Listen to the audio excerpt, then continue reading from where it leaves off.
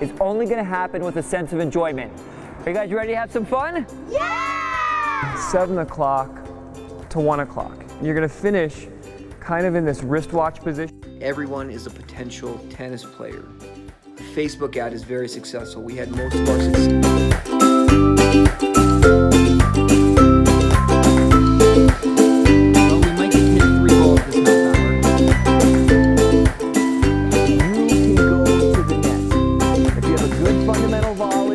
And practice it, you have a good